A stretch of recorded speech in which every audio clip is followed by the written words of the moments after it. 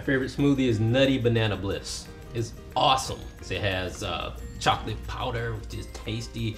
Everyone loves some chocolate. It has bananas, and it has that boost of energy that everybody needs.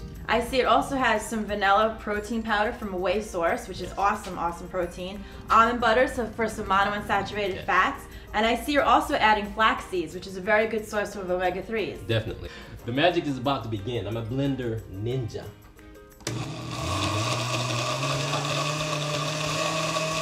I'm mixing it all together. This is gonna be a fantastic smoothie. But my main ingredient, the secret ingredient is love. Cheers.